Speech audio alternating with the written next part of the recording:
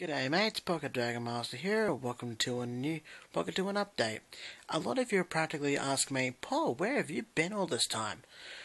Well, I've moved to a new house, so I practically have the unit by myself. I live by myself, try to gather new friends, stuff like that, learn new things, that kind of thing.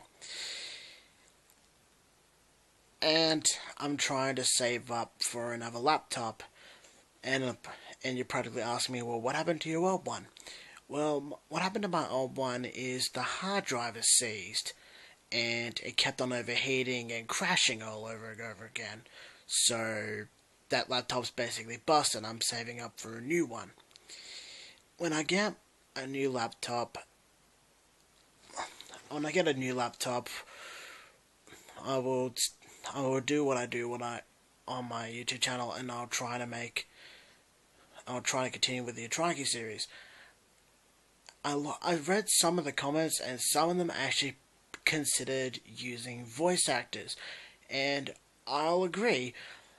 Voice actors will make the series a lot more interesting. It's just that when it comes to most Maple animations I've seen on YouTube, such as Drifter in Denial, Turtle Bear, and most other Maple animations I've seen, most of them just don't use voice actors at all. They just mostly use voice clips from certain animations and whatnot.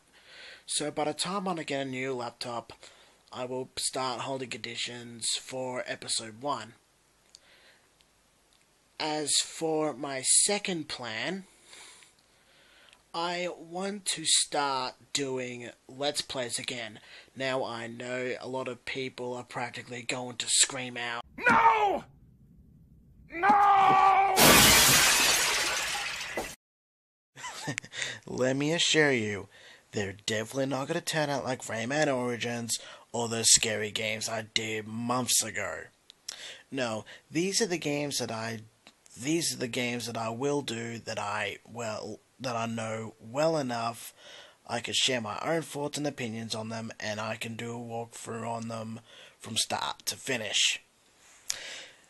They will consist of games that you practically already seen before, or some games that you might not know. I can share my own thoughts, what my what my current thoughts are on this type of specific area of the game, and so on, and so forth. And I can share my own history with it like let's say Metroid Zero Mission. How I love that game to death, and how how I think it's better than the original Metroid because Metroid Zero Mission has what well Metroid Zero Mission you won't get lost like a rat in the maze like the original did. So basically, I can share my own knowledge of certain video games when it comes to well my let's plays when I'll do them again. So I'll be sure doing so I'll be sure to do that when I get my laptop back. And above all of that, that's practically it. I will see you guys later as soon as I get a laptop. See you guys later.